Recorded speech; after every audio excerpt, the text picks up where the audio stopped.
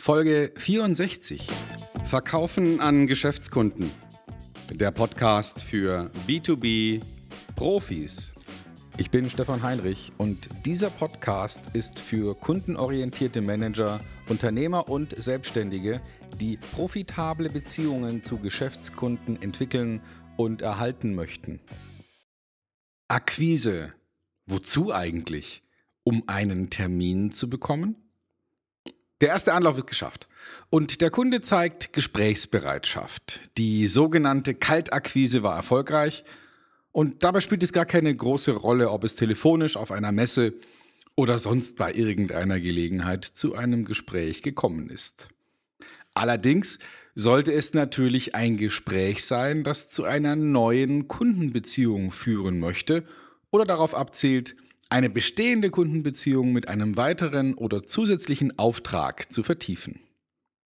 Viele Vertriebsorganisationen unterscheiden zwischen der Kaltakquise und dem Management von Bestandskunden. Manche sprechen auch von sogenannten Huntern, also Jägern und Farmern, also Landwirten. Schlachten oder melken. Viele Verkäuferinnen und Verkäufer ordnen sich gerne in diese simple Aufteilung ein ich bin ein Beziehungsverkäufer oder ich bin ein Jäger. Die einen halten sich für geeignet, neue Kunden anzusprechen und die anderen fürchten sich ein wenig davor. Deshalb wird das Erstgespräch völlig anders bewertet als bestehende Kundenbeziehungen. Und das halte ich für falsch. Kaltakquise oder Bestandsgeschäft. Was ist schon der Unterschied? Viele Verkäufer werden an dieser Stelle verzweifelt ausrufen, Kaltakquise, dazu muss man geboren sein. Die Erklärung dafür ist, dass diese Verkäufer Zurückweisungen nicht ertragen können und deshalb die erste Ansprache völlig anders einschätzen als die Gesprächsführung mit bestehenden Kunden. Wir haben das ja in den vorangegangenen Episoden bereits ausführlich besprochen, so dass ich jetzt gar nicht genauer darauf eingehen will. Heute soll es nur um die Gesprächsführung gehen und um den Irrtum, dass Gespräche mit bestehenden Kunden völlig anders geführt werden sollten als Gespräche mit neuen Kunden. Ja, Sie haben richtig gehört. Kundengespräche sind prinzipiell immer gleich. Es ist nur aus der Sicht des Verkäufers ein Unterschied, ob man sich ewig kennt oder zum ersten Mal trifft. Vielleicht denken Sie jetzt, dass meine Aussage völliger Unsinn ist, aber geben Sie mir noch eine Minute, um den Gedanken zu vertiefen. Wie so oft nutze ich ein Beispiel aus der natürlichen Kommunikation zwischen Menschen. Wenn Sie seit vielen Jahren glücklich in einer Beziehung leben, dann wissen Sie, dass man sich zwar vertraut sein kann, aber nicht wirklich kennt. Menschen verändern sich. Wirklich erfolgreiche Beziehungen erkennt man daran, dass die Partner sich immer wieder neu erobern. Sie ruhen sich nicht auf der Illusion von wir kennen uns oder ich weiß doch, was du denkst aus. In Beziehungen, die halten, sind die Beteiligten im Prinzip genauso voller Interesse, Neugier und Verständnis für den anderen wie am allerersten Tag. Wie war der Tag, Liebling? ist eine erfolgreiche Sendung aus SWR 3, die Sie vielleicht kennen. Der Radiomoderator Christian Thees spricht mit Anke Engelke. In der Manier eines alten Paares oder zumindest eines Paares, das sich lange kennt, über die Ereignisse des Tages. Beide tauschen sich voller Interesse und Zuwendung aus obwohl sie sich offenbar bereits seit vielen Jahren kennen. Wenn Sie die Sendung schon einmal gehört haben, dann wissen Sie, was ich meine. Obwohl oder gerade weil Sie sich gut kennen, sind die Gesprächspartner absolut konzentriert auf den jeweils anderen und sie gehen eben nicht davon aus, dass sie vermeintlich wissen, was der oder die andere will. Das ist die Haltung, die zählt. Ich will dich verstehen. Zurück zu den Kundengesprächen. Gehen wir davon aus, dass es zunächst kein großer Unterschied ist, ob Sie den Kunden seit sieben Jahren kennen oder ihn zum ersten Mal sprechen. In diesem Zusammenhang ist es erstaunlich, dass nach wie vor viele Akquisitionsgespräche mit dem Ziel geführt werden, dass ein Termin zustande kommt. Ganze Heerscharen von Marketingdienstleistern und Callcentern werden angeheuert, um Termine für Verkäufer zu machen. Was für eine Geldverschwendung. Alles, was dabei rauskommt, sind sogenannte DFK-Termine. Und DFK steht für Diesel für Kekse. Sie verbrennen Diesel und bekommen im besten Fall Kekse vom Kunden. oft genug leider nur kalten Kaffee. Wie oft haben Sie schon von anderen Menschen vereinbarte Termine wahrgenommen und dann keinen adäquaten Gesprächspartner vorgefunden? Da sitzt dann zum Beispiel jemand, der vom eigentlichen Ansprechpartner geschickt wurde, weil Ihr Entscheider plötzlich keine Klarheit mehr hatte, warum er den Termin überhaupt wahrnehmen soll. Oder der Entscheider ist zwar anwesend, aber offenbar enttäuscht, weil er nicht mit der sexy Telefonstimme zu tun hat, die den Termin ursprünglich vereinbart hatte. Sie merken schon, dass ich persönlich solchen Terminverkäufern sehr kritisch gegenüberstehe. Und das meine ich in keinster Weise persönlich oder diskriminierend. Es ist eben so, dass Menschen, die nach einem bestimmten Kennzahlensystem bezahlt werden, dieses Erreichen der Zielgrößen optimieren. Also wird ein Callcenter, das nach Terminen bezahlt wird, immer die Anzahl der Termine erhöhen, ohne wirklich sinnvolle Termine im Auge zu haben. Das darf man nicht dem Callcenter anlasten, sondern dem Auftraggeber. Und genau deshalb sollten Sie sich jetzt für sich selbst als Akquisegesprächsziel eben nicht den Termin als Ziel setzen, sondern ein besseres Ergebnis. Aber was wäre dieses bessere Ergebnis?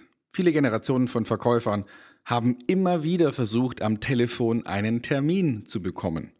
Warum sollte das jetzt plötzlich falsch sein? Lassen Sie mich dazu eine einfache Frage stellen. Würden Sie den Auftrag auch ohne einen Termin annehmen? Naja, klar würden Sie das. Also verzeihen Sie diese rhetorische Frage. Ich möchte damit nur zum Ausdruck bringen, dass der Termin keine Notwendigkeit, sondern allenfalls eine mögliche Voraussetzung ist. Und zwar deshalb, weil Sie möglicherweise auch ohne Termin einen Auftrag annehmen würden, oder? Also dürfen wir noch einmal überlegen, was die richtige passende Zielsetzung für ein Akquise-Telefonat sein könnte. Zumindest dann, wenn man professionell und mit den Methoden der Neuzeit vorgeht. Wir haben ja schon erarbeitet, dass das eigentliche Ziel der Auftrag ist. Sicherlich ist ein Termin vor Ort beim Kunden eine Erleichterung, um zum Auftrag zu gelangen. Allerdings ist er keine notwendige Voraussetzung. Deshalb ist es auch nicht sinnvoll, den Termin als vorgegebenen Schritt in einen Vertriebsprozess einzubauen. Wir sollten darauf vorbereitet sein, dass der Kunde diesen Schritt wünscht, aber den Besuch aktiv einzufordern, ist strategisch gesehen ein Fehler. Wie könnte also eine Alternative aussehen? Am Ende jedes Akquisitionstermins steht die Frage, die sich übrigens auch für jeden Termin bei der Sozialakquise eignet. Und die Frage lautet, wie verbleiben wir denn jetzt? Gut, ich gebe zu, dass das auf den ersten Blick bzw. das erste Hören kaum vorstellbar ist. Also ein Grund mehr, um diese Aussage genauer zu verstehen. Wie wäre es, wenn Sie im Rahmen des Gesprächs Folgendes sagen würden? Prima, Herr Kunde, jetzt haben wir ja schon ausführlich über Ihre Anforderungen gesprochen. Ich denke, es ist klar geworden, was Sie stört und was Sie erreichen wollen. Was wäre denn jetzt aus Ihrer Sicht ein sinnvoller nächster Schritt, um die besprochenen Ergebnisse zu erreichen? Die beste Frage zum Schluss des Gesprächs. Ist diese Formulierung immer noch zu abstrakt für Sie? Können Sie sich vielleicht noch nicht so richtig vorstellen, dass das etwas bringen soll? Dann lassen Sie mich den Hintergrund dieser Frage erläutern. Vergleichen wir einmal die übliche Alternative mit meinem Ansatz. Die meisten Verkäufer würden wohl zum Ende des ersten Gespräches eher etwas sagen wie, ich würde Ihnen das gerne in einem persönlichen Gespräch näher bringen. Dafür sollten wir uns eine Stunde Zeit nehmen. Wann passt es denn am besten in Ihren Kalender? So oder so ähnlich würden die meisten Verkäufer vom ersten Akquisegespräch zum nächsten Termin überleiten. Allerdings ist das höchstens der zweitbeste Weg. Warum? Weil wir eine Aussage gemacht haben. Versuchen Sie doch bitte einmal auf eine Frage mit einem Einwand zu antworten. Das klappt nicht. Allerdings ist es gerade schon eine Einladung zu einem Einwand, wenn Sie eine Bitte, eine Aussage oder ein Angebot formulieren. Wenn Sie eine Aussage nach dem Strickmuster Ich will einen Termin machen treffen, dann ist eine ablehnende Antwort nicht nur möglich, sondern sogar wahrscheinlich. Was halten Sie stattdessen von folgendem Dialog am Telefon, der am Ende eines Akquisegesprächs steht? Verkäufer, Jetzt haben wir ja schon einige Aspekte besprochen. Was wäre denn aus Ihrer Sicht die weitere Vorgehensweise, um die soeben besprochenen Ergebnisse in Ihrem Unternehmen umzusetzen? Kunde? Hm, ich weiß nicht genau, vielleicht sollten wir uns mal treffen. Verkäufer? Ja, das wäre möglich. Lassen Sie uns jetzt gleich einen Termin abstimmen, der für uns beide passt. Bei mir ginge übernächste Woche Mittwoch, das wäre der 24. diesen Monats. Welche Uhrzeit passt für Sie? Kunde? Wie wäre 16 Uhr? Verkäufer? Ja, das trage ich mir ein. Damit ich Ihre Anforderungen genau erfüllen kann, was möchten Sie am 24. besprechen? Kunde? Na, ich will Sie einfach mal kennenlernen. Schließlich macht man so eine Investition nicht einfach so am Telefon. Käufer? Ja, das ist sicherlich eine gute Entscheidung. Geschäfte werden zwischen Menschen gemacht und da ist es wichtig, dass sich beide Geschäftspartner wohlfühlen. Gehen wir davon aus, dass wir uns gut verstehen. Was wird am Ende unseres Treffens dann der nächste Schritt für Sie sein? Kunde? Ja, wenn alle Fragen zu unserer Zufriedenheit beantwortet worden sind, dann kann ich mir vorstellen, mit Ihnen ins Geschäft zu kommen, vorausgesetzt der Preis passt. Verkäufer? Okay, also wenn wir uns kennengelernt haben, alle Fragen beantwortet sind und Sie die Investition vom Preis-Leistungs-Verhältnis für gut befinden, dann können Sie sich vorstellen, mit uns in eine erfolgreiche Geschäftsbeziehung zu starten. Habe ich das richtig verstanden? Kunde. Unter den genannten Voraussetzungen ja. Verkäufer. Prima, dann sehen wir uns am 24. bei Ihnen im Haus. Fazit. Sicherlich ist es in den allermeisten Fällen der beste Weg, nach dem Akquise-Telefonat einen persönlichen Termin zu vereinbaren. Allerdings ist es keine gute Idee, das selbst vorzuschlagen. Es ist viel besser, wenn Sie eine offene Frage in den Raum stellen und den Kunden selbst entscheiden lassen, was der nächste Schritt sein soll. Es ist nicht überraschend, wenn der Kunde selbst den Termin vorschlagen wird. Und dann ist die Gefahr eines Einwands beseitigt. Mehr Fragen, weniger sagen. Wollen Sie das selbst einmal ausprobieren, ohne im Kundengespräch gleich alles auf eine Karte zu setzen? Oder melden Sie sich doch zum Gesprächspingpong an. Das ist eine neue Idee. Und dabei unterhalten wir uns via Skype und simulieren ein Kundengespräch, eins zu eins, Sie und ich. Ich zeichne die Unterhaltung auf und Sie bekommen ein detailliertes Feedback und ich zeige Ihnen, wie ich es an Ihrer Stelle machen würde. Das Ganze ist kostenlos. Und der nächste Termin ist am 8. April 2015. Bitte tragen Sie sich doch einfach hier ein. stefanheinrich.com slash ping. Also Stefan mit ph, Heinrich, ein Wort.com slash ping.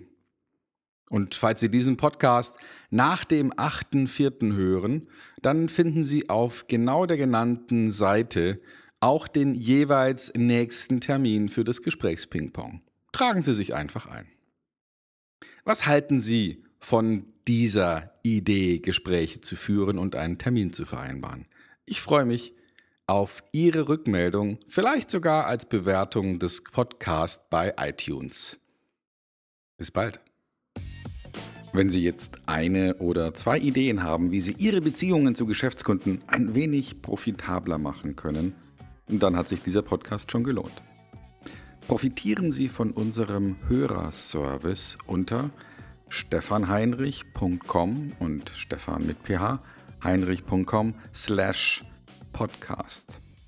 Tragen Sie dort Ihre E-Mail-Adresse ein und wir versorgen Sie mit allen relevanten Informationen rund um den Podcast. Sie haben gerade nichts zu schreiben und wollen dennoch in Kontakt bleiben? Na, dann rufen Sie doch bitte die Podcast-Sprachbox an unter der deutschen Nummer 0651 360 89101. Ich wiederhole das. 0651 360 89101. Und dann kümmern wir uns um Ihre Frage. Gerne auch Themenwünsche zum Podcast. Bitte empfehlen Sie den Podcast weiter und unterstützen Sie meine Arbeit mit einer Bewertung bei iTunes.